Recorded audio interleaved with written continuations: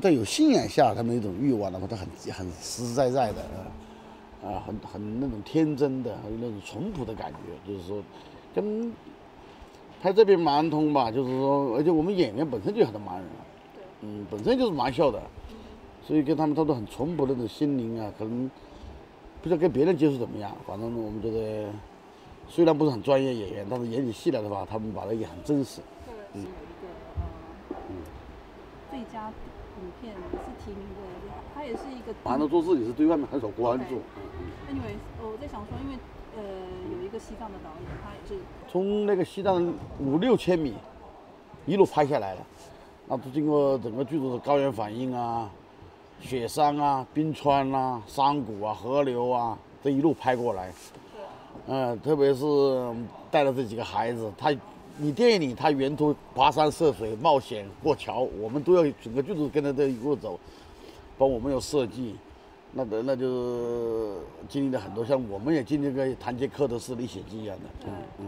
你试一下看看啊，知道吧？就那个感觉，没人把眼镜扔掉，偶尔这样的啊，偶尔不是天数，每个整个团出都是老大，偶尔的。上上上上。B 的，B 不是，直接上面的。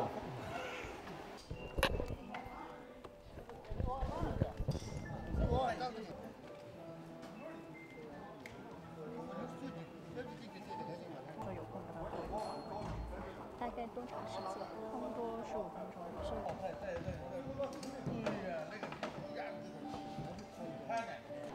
要教很多遍，同时因为是他们战语思维，因为你跟他说汉语，他是战语思维，所以我们这边有藏藏语的老师跟组来进行跟他进行教表演。但是，一旦掌握之后，他们会很按照程序 来表演的。这方面还比较真实吧，嗯。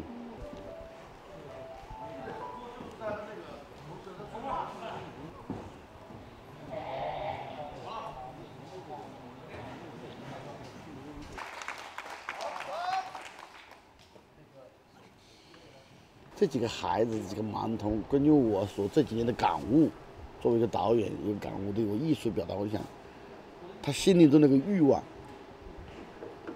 让大家去评判，嗯，展现给大家看，就是个欲望，不要谈去梦想，那是高大上、崇高的东西太多了，嗯。